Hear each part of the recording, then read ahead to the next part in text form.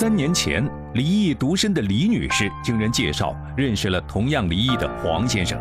因为人老实，即使黄先生是一毛钱也没有，李女士也愿意跟他走。他跟我说他一无所有，我说我愿意。可结婚仅仅半年后，李女士发现老实巴交的丈夫竟然骗了自己。他不是一无所有，而是他还有十多万的债。既已结婚，李女士也只好无奈接受。可就在还了两年债务之后，他发现了一个更大的骗局。这个债务就是一场骗局，共同设计对我编策编的一个一个谎。再还不就是一个笑话吗？调解现场，李女士列举出了种种可疑之处。他什么时候欠我六千块钱呀？我怎么不知道呀？你哥跟我说他欠你两万呀？怎么你你怎么说欠你四万呀？主持人张燕忍不住发出疑问：在你写下这个账目的时候，你为什么不写进来？观察员宗月英提出了质疑。从我们旁观者来判断，你至今为止还没有如实的告知。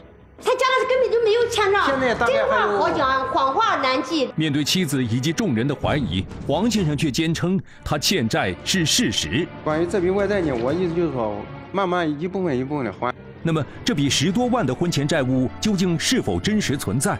如若存在，为何会疑窦丛生？如若根本不存在，黄先生所谓的还债之举又另有什么企图呢？调解马上开始。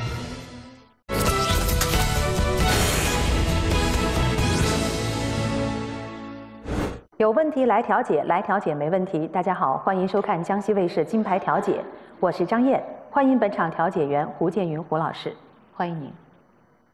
欢迎场上的观察员们，欢迎大家。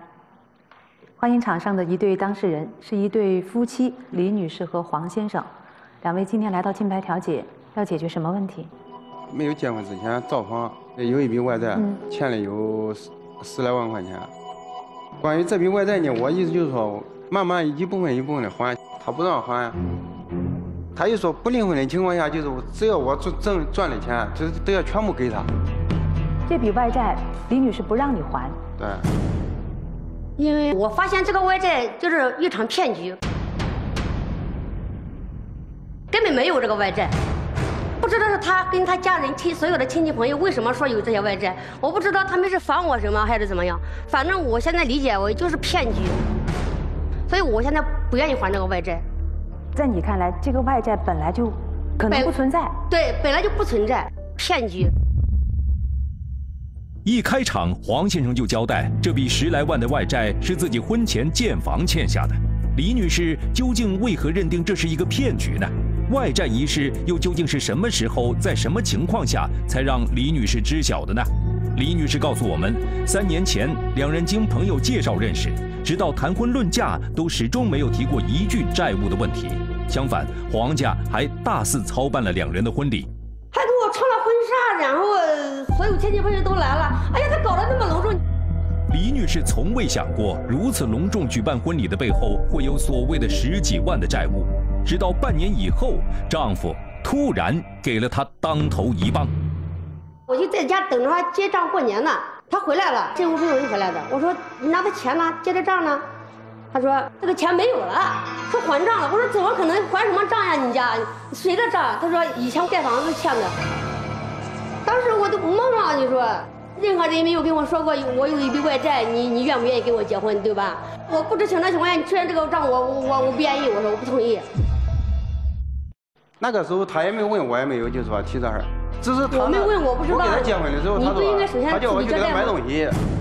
他快四十岁了，那那个时候，我就问他，你跟你前妻离婚赔他什么钱没有啊？他说没有啊，什么都没有给他。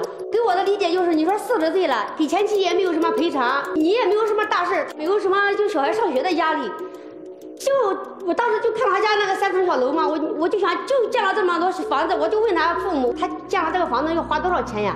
他说好像十四五万吧。我就想。一着眼，你说四十岁的人要是正干一点，怎么可能是欠债呢？所以我压根脑子里没有欠债这个事儿，所以我也就没问。我知道他有这些债务，我怎么可能跟他走入这个婚姻其实我盖我造房的时间，就是我欠了五六万。我们两个结婚的时间又欠了大概也就五六万块钱。叫我去买东西，我说没有钱。他说了呀，你就不能为了我们两个结婚，你就不能借去钱就这样。他就说了这句话，我就第第一天我帮钱，我借了钱了，回来给这儿办了。给他买了东西。你的意思是说，这个外债里面有你们两个结婚的时候借的一部分？对对对。这一部分，你听我说，那么多钱，我怎么知道？你听我，我给你买东西，大概就是说给他买手镯、买东西，大概是三万块钱对。屋里装修、再买床、买这些所有东西，大概五六万吧。这对我来说根本是可笑。他当时我就说，那你多少要给我有点表示，让我有面子一点。他就说，哎呦，你放心吧，只要你说，我都会答应你。我说我现在就缺一个手镯，你给我买个手镯就好了。好，他就说我现在身上没有，我去弄钱去。我理解是他身上不可能带那么多钱现金，然后你可能去找去拿钱去取钱去了嘛。我能知道他是说他借钱嘛，对吧？他说借钱的话，我连那个钱我都不让你花。他全家人从来没考虑过我将来知道这个事怎么办。在一无所知的情况下，债就这么欠下了。如今的李女士懊恼不已。可是生米已经煮成了熟饭，既然已经进了黄家家门，日子也只能继续过下去。况且那时候李女士已经怀了孩子。但就在李女士怀孕期间，丈夫黄先生为了还债，竟然做了一件让她后怕不已的事。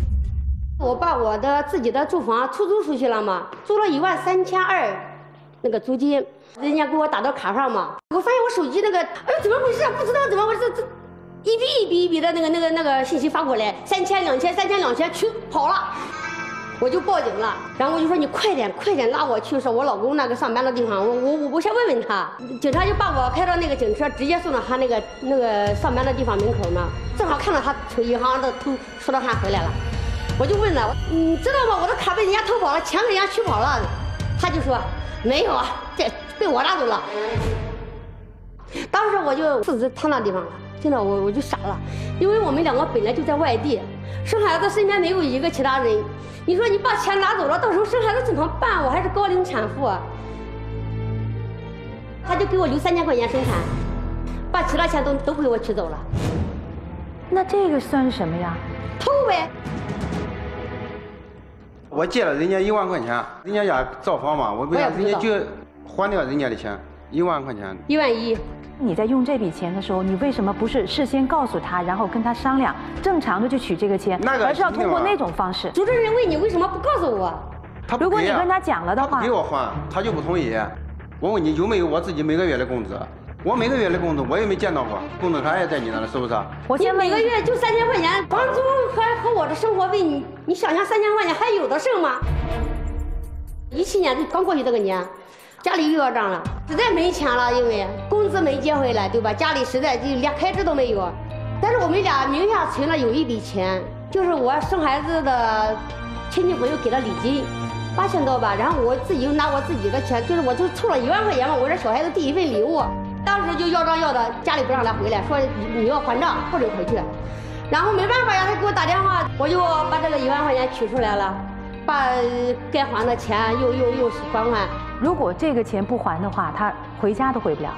回不了，不是人家不让他走，是他家里就不会让他走。他家里就是说每年，我不管你怎么样，你就是必须每年过年的时候要交给我钱。他他爸爸就是这样的。我每挣一笔钱，他必须都在到他那里，不到他那里就不行，就就吵闹骂。这两次的还债经历虽然让李女士很气愤，但至少那个时候她并没有怀疑这十几万债务的真假。我本来还能不管怎么样，我还愿意还，对吧？我现在坚决不想还了，一分都不想还了。现在发现这个账就是个骗局。那么是什么让她今天认定这债务就是一个骗局呢？随即，李女士掏出了一个记事本，交给了主持人张燕。写的是二零一六年一月三十一号统计的。李女士告诉大家，这是她在知道丈夫欠债之后，让丈夫黄先生统计的债务情况。这两年，他们都是把钱交由黄先生的父亲去还的。可是，就在今年年初，一个电话让她对这本子上所记录的所有债务都产生了怀疑。表弟找他玩，给他打电话，被我我接的。当时当时不在家，我想起来了，他跟我说的表弟家还有六千，我就问他表弟，你跟你你表哥之间你们俩有没有账呀？他说没有呀，我跟他之间干活的工地上的钱结的清清楚楚的，从来没欠账。他欠你的也没有吗？他说没有。我说你再想想，黄振书跟我说他欠你六千块钱耶，他说他什么时候欠我六千块钱呀？我怎么不知道呀？通过这个电话以后，我就知道他这个，我就怀疑他所有的钱账，不但他表弟的这个账都是子虚乌有。你后面核实了吗？还要怎么核实呢？电话都这样说了，以后再核实肯定都改口了呀。我问一下黄先生吧，这表弟家的六千块钱是怎么回事？那个六千是从我小姨那拿的，他问我姨弟，我姨弟说他不知道，我让他去问你，你我你要不相信，你去问我小姨，他不问。我发现这个，我说你这个账都是都是假的，根本就是骗我的。他说你现在再问吧，你现在问所有的亲戚都是真的。我说我现在问谁，我还问啥？我我谁也不会再问了。除了这一笔之外，还有其他的让你产生对这个整个的外债有怀疑的吗？还有。他当时那个账上不是写他三个妹妹都是一两万两万嘛？就是在他表弟那个事情发生过以后，他他这个二妹妹，然后上我家玩，我就问他，我家我家黄丽，你哥到底欠你多少钱啊？以前我也不知道。他说有四万块钱吧。现在又说四万了，他讲实际上是欠多少？你了解？我也不知道呀，因为他跟我一开始交代的是两万呀。我从这个本本上看的也是，你说的是二妹妹是吧？也是两万块，但是二妹妹给你的答复是四万块。二二妹妹，我现在亲自问了，二妹妹说四万，我也就问他，我说不对呀，你哥跟我说他欠你两万呀，怎么你怎么说欠你四万呀？他小妹就说，我也不知道都都是怎么欠的，反正我哥欠我四万。我说那你这给我说说，他为什么欠你那么多钱呀？他说都是他以前，他就前妻嘛，前妻娘家哥，就是他以前的大舅子家里建房子吧，娶媳妇建房子，都是我哥给他借的，从我这借的。哎，你说我现在给你还你家里建房子的账，我要跟你结婚了，我连你前妻的娘家的账我都要认，可笑不可笑？你说？只有七千块钱，前妻那边借的，我个人从他那借的一万多吧。其余的就是我没有在家，就是他给我给我父亲了嘛，就我父亲看了给我造房嘛，钱就给我父亲，我妹妹嘛，每个人给了他，给我父亲两万。在你写下这个账目的时候，你都是知道的，为什么不写进来？那个时候我想，这个没有必要写那个，那没有写。那不得还吗？还这我想慢慢还嘛。哎呀，我看本来这个账还都是虚有的，他不是当时双木随便写，他当时编的数，他家里根本就没有欠账。真话好讲，谎话难记，对吧？他当时随便说的数，然后过了再问的时候，他自己都忘了。他以前跟我说的两万，他过了他又随便编个话，又四万了，就四万了。反正现在他亲戚你也找不到证据，因为他就那么多家亲戚，每一家都借钱。黄先生的含糊其辞、账目的不清不楚，让李女士很焦虑不安。她不知道还有多少事情是她不知道的，更不知道债务是不是随时又会突然增多。那么，黄先生的债务为何始终没有清晰准确的记录？他又为何在调解现场如此说不清道不明？我们决定现场连线李女士所提到的黄先生的二妹妹。他会对这一切给出怎样的说法？又能否消除李女士心中的疑虑？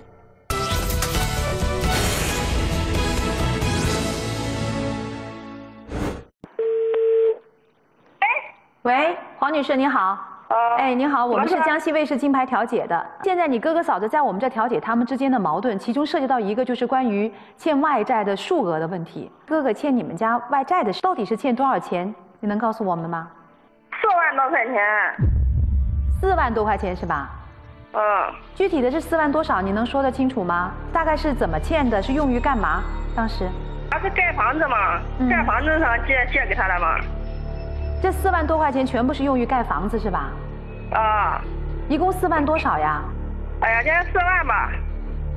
他也盖房子也不在家，是我我爸爸拿的嘛。我想你实话实说吧，你跟我怎么说的？我那次问你，你哥欠你多少钱？你说四万。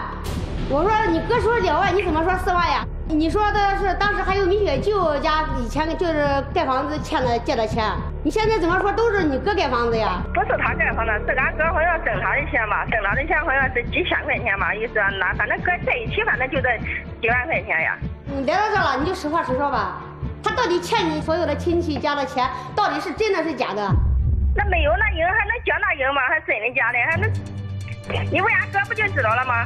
是吧？反正我是知道他挣了有嘛，有我姐的，有我妹妹的，还有我弟弟的，好像全部都借了。他借这个钱也是和我嫂子也了结婚的时候他借的，就是他盖房子借的，别的没有吧。那你哥哥欠多少外债，你清楚吗？他以前好像十多万块钱，十多万块钱，他目前还了不知道还多少。哥哥还了你的钱吗？没有。你就说说为什么以前你你哥呃那么没有钱盖房子，家里穷的没有钱盖房子，为什么要盖那个房子呀？他他家里房子不管住了吧？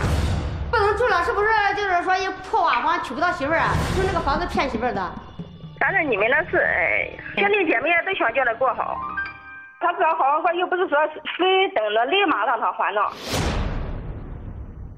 关于欠债数额，黄先生的妹妹亦如黄先生一样，没有明晰准确的说法，反而显得很随意。难怪李女士心头总有一种被骗的不安感。此时的李女士眼见和妹妹也证实不了真假，突然把焦点转移到了黄先生婚前所建的这套房子上。我现在疑惑，就是说我还了这个账，这个房子是算是你的还是你你家大儿子的？黄先生和前妻有一儿一女，对于这所房子，他们将来有继承权。李女士觉得丈夫的这两个孩子有还这笔债务的义务。那么早已成年并且工作了的他们，对待这笔债务究竟会是什么态度呢？当时就开了个家庭会，他女儿都说的，这个账我不认，我不会认着帮着还的。我是女孩，我将来要结婚的，我又不住那房子，那房子我不住，我我我我不承担。他儿子当时就写了一个保证吧，就说他愿意还这个账，写的。我们看一下儿子写的这个承诺。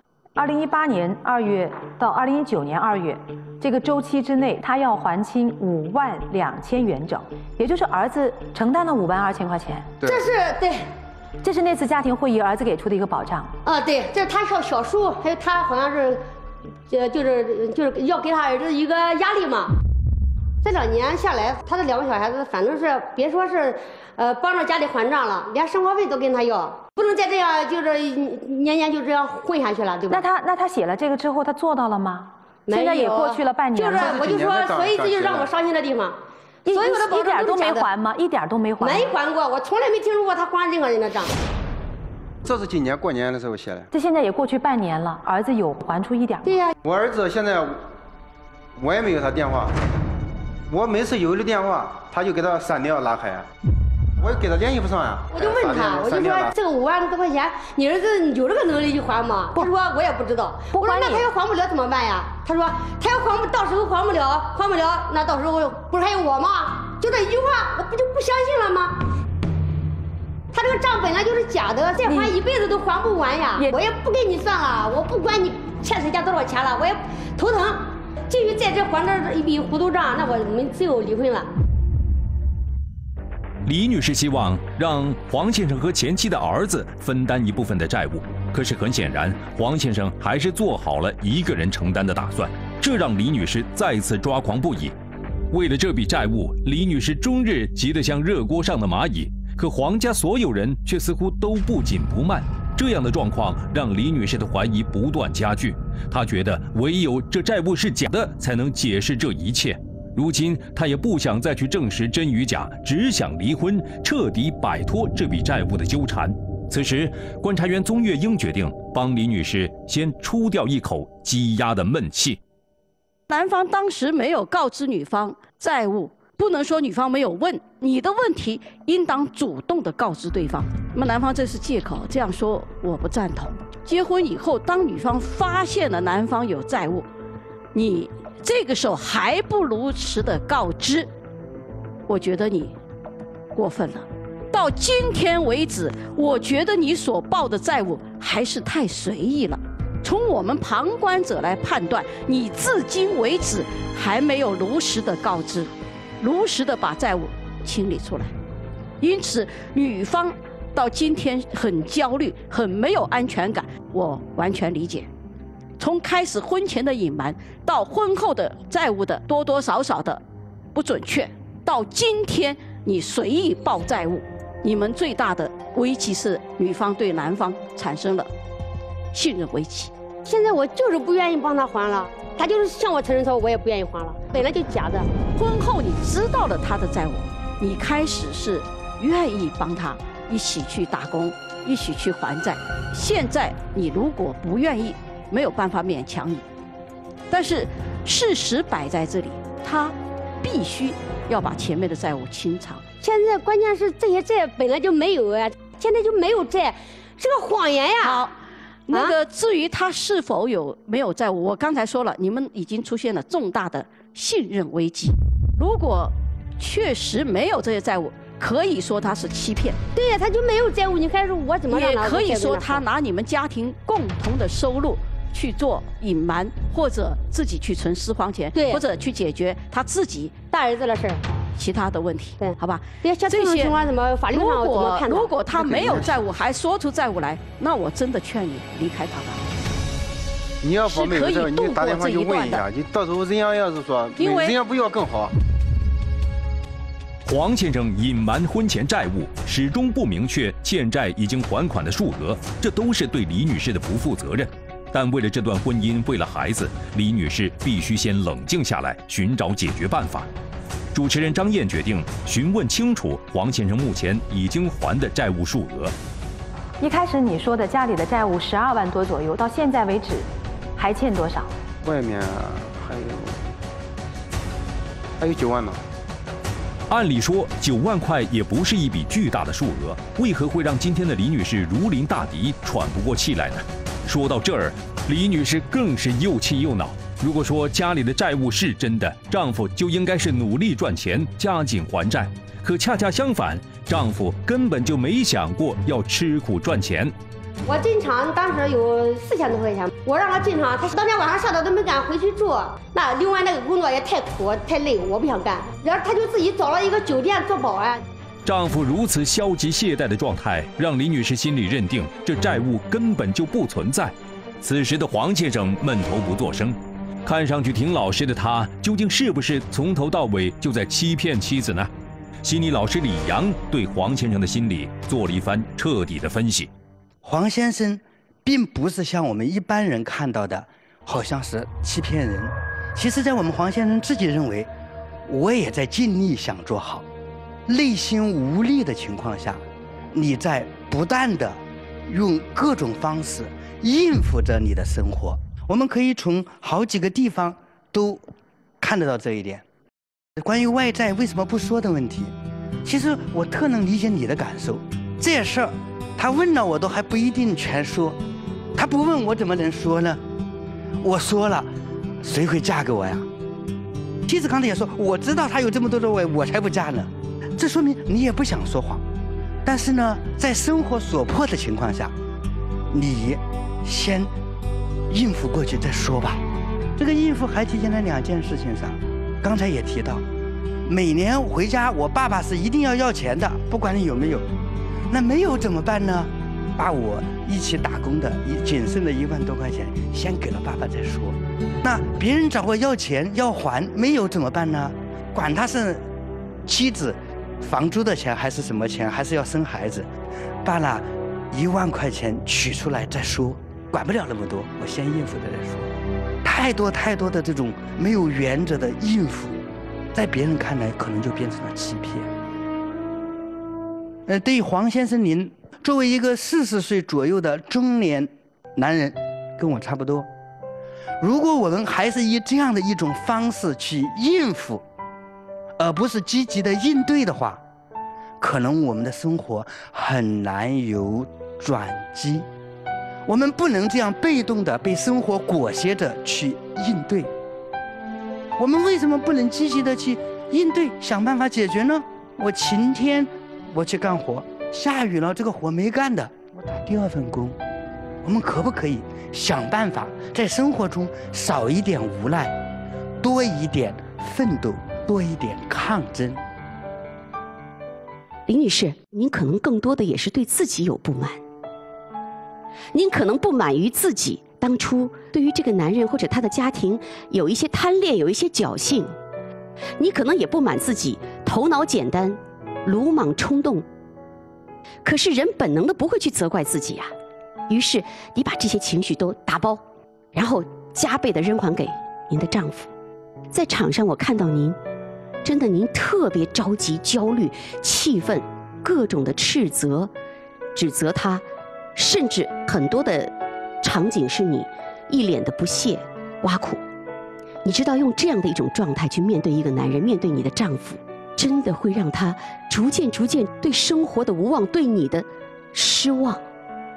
你原本是不希望跟他分开的，你希望能够他有所调整改变，然后认认真真走下去的。你用这种方式，你只会打击到他，你只会让他离你渐行渐远。不要去践踏他的自尊，学会和他平等的交流，心平气和的说话。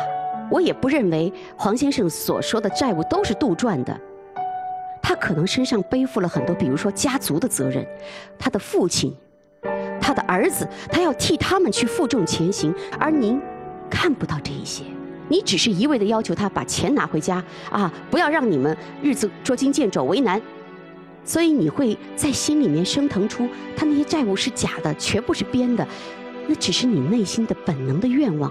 你希望无债一身轻的和他过日子，我想说，能不能够多给丈夫一些鼓励和支持、信任，让他更加充满正能量的、充满了力量的去负重前行，然后这个家才有可能真的重新支撑起来。婚前欠下的债务本来就属于男方个人债务。你答应你自己去还就好了，只要你不动用你们夫妻共同收入和共同财产，你自己去还就好了。现在重点，我觉得不是债务问题，我觉得是你们夫妻关系问题。你结婚之初，直到今日，你都没有任何一点表达了对李女士是负责任的。当初娶她的时候，谈不上你爱她。在欠债方面，你事先极力隐瞒了她；在你赚了三个月钱之后，你拿去还债，你事先没有告知她，你根本就没有尊重她。你作为李女士的丈夫，你对她哪一点负责了？你在意了她的哪一点？在婚姻当中，作为丈夫，既没有想到对你负责，也没有想到要经营好这个婚姻，也没有想过要尽心尽力的来对待你。这就是黄先生在婚姻当当中的态度。你生活有多苦，你欠下了多少债，你多逼不得已，那是你的生活，你要对你的生活负责任。但你从没想过你要对李女士负责任。当你努力还下自己经济债的时候，你又欠下了婚姻债，而这个债你却从未想过去还，因为今天在这个现场。你没有任何一句话表达你的歉意和你的诚意。你现在要跟他过，确实面临很复杂的事情。其中最难受的，我觉得就是他有一点好逸恶劳，不是那么勤奋。但是你要考虑到，他他确实能力有限，他在外面的世界不会那么舒服，不会那么自信。所以他会去找适合他自己的安全的工作，收入肯定就不太高，一定要有这个一定的接受度。最大的障碍是来自这一块。那现在你真的对他有怨言？有。你要多恨他？没有。他还是一个伴，然后是一个爸。对你来说，这两样都很重要。你可以先放弃那个想法。就是他欺骗你，你这个就高估了他的能力，不要自己吓自己。第二点呢，我建议也是对你来说的，叫顺藤摸瓜。既然他说借了债，从你孩子的利益出发也好，从你们这个家庭的安全出发也好，你就弄清楚你借的钱到哪去了，花在哪里，然后我把这笔钱花在哪里，我要把这个利益给固定下来。保护起来，你说了一句的，这个房子究竟是谁的呀？是不是？那我就建议你可以把重点就放在这，就是不问钱，只问房。黄先生，第一，你把你借借钱的这个清单列清楚，不要那样某某多少钱，哪有这样记账的呢？这让人很怀疑，充分证明你是糊涂的。应该是什么时候借的？为什么？向谁借的？承诺到什么时候还？梳理清楚之后，我就知道这些钱流到哪里去，能够流到房子里，房子是谁的？好，第三步，你们俩约定好，其他的没有还清的债务，谁来负责？第四，每个月交多少钱养家？这不就清楚了吗？首先你要从恐惧当中先清醒一下。调解员胡建云认为，李女士可以在保障自身及孩子的利益的前提下，让丈夫慢慢去偿还婚前的债务，以给婚姻一个机会，给孩子一个完整的家庭。那么，李女士是否会考虑不离婚呢？黄先生能否在今后做出改变，既可以还债，又能够撑起整个家庭呢？调解进入密室环节，观察员廖喜玉带着李女士进入密室，观察员李阳则和黄先生在场上交流。一进密室，李女士就再次表达了对丈夫的失望。我是不想不想跟他过了，我想跟他离婚。前段时间都离婚协议都写好了，他他挣的钱每一次都是他，那个家里就五百，就四千，给我五百块钱，他竟然都都剩下钱他还债了。李女士觉得丈夫的债务让自己看不到希望，而场上黄先生却觉得自己结婚这三年来忍受了许多委屈。这三年挣的钱，因为我没有没在我个人的每个月挣的钱给拿的生活费全部给他，就是还账。但是我每现在这次还账都是经过他同意。我虽然挣的不多，我不在外面那个乱搞，对对，每天给我十几块钱、二十块钱。就够吃了。对，我不抽烟。我说个难听的话，你面临好多问题啊。哦，我就是这样的。你你还以为你做的很好啊？我可以看得出来，基本上你盖那个房子以前都是借的，那就是你的生活态度问题呗。一个大男人干到四十几岁，我盖个房子，我怎么也得存个一二十万块钱啊？为什么我一分钱都没存到？你想过没有？生活没有目标，没有方向，没有追求。我负担太，我管的负担太大太重。在以前我挣的钱就是，我就是不但管到我家庭的，连我以前那个。前期的整个家庭基本上我，这这都是有问题的，人要有界限啊！我既然有钱把撒出去，我干嘛不存钱盖房呢？你是个好人，但你是个糊涂蛋。正是黄先生一贯的糊涂不讲原则，才有了这笔十多万的糊涂债。如今说到如何还债，黄先生总是强调自己的工资都交给了李女士，所以他没有办法。这让李阳老师再也忍不住脾气了。你就在找借口，你的我太了解你的想法了。我挣的钱反正已经给你了，没钱就是你的事。你挣到多少钱？你一个月挣挣了三万吗？那没钱是他的事。一个月给三千块钱，你家里还能存钱呢？作为一个丈夫，作为一个父亲，我就要想到，我一个家庭除了日常开饭，那还有家庭的这种，我们说的叫应急基金呐。你压根没想过。李阳老师一连串的质问和指责，让黄先生哑口无言。确实，面对不清的债务，面对家庭和孩子，他只有更吃苦、更勤劳、努力奋斗，这样才能让妻子李女士看到希望。让人欣慰的是，密室里，李女士告诉观察员廖喜玉，为了孩子，她其实也并不想离婚，只是被逼得太难受了。我说你挣的钱还不够，从生活开支都不够。我说我去挣钱，让你妈帮带孩子。结果带带了一天，小孩嘴给磕烂了，又给送回来，不给带，他妈不给带，哎我没法挣钱呀。李女士想通过自己去赚钱，改变经济状况，可是苦于要带孩子，没办法工作。说来说去，还是只有作为一家之主的黄先生要努力工作，拼命赚钱。观察员廖喜玉建议李女士在保障家庭生活的情况下，让丈夫去还债。现在你的你的要求就是希望每个月有固定的生活开支啊，对。好，就先把这个债务来确定，好吧？确保家庭生活的正常开支，其余的让他去还债。此时的李女士做出了妥协，不再坚持离婚，同时她也明确提出了一个要求。那就是丈夫婚前所建的房子必须有她和丈夫婚生儿子的一半。这小儿子也是他的嘛？对，他要签个手手续，把那个房子给我小儿子一半。随后，观察员廖喜玉来到场上和黄先生进一步沟通。那么，密室出来之后，黄先生是否会有全新的表现？李女士又是否会给予继续携手的机会？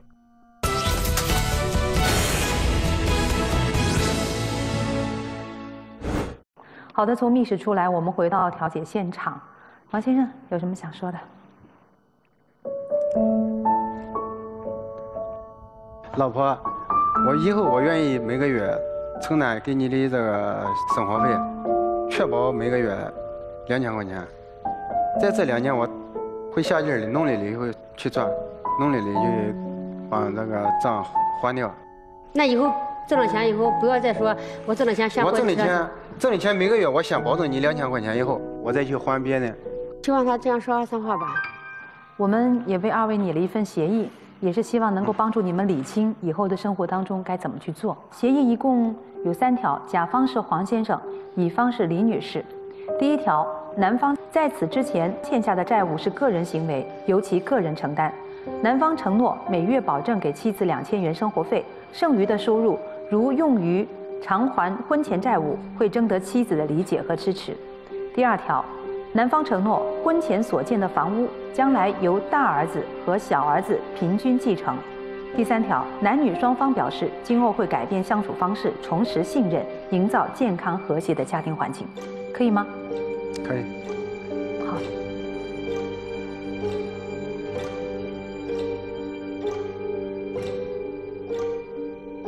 协议签下，调解结束了，但对于黄先生的考验才刚刚开始。希望黄先生今后能够真的努力奋进、吃苦耐劳，尽早的还清债务，给妻子一个强大的依靠，给孩子一个美好的未来。也希望李女士能够调整心态，给予丈夫一个蜕变的时间和过程。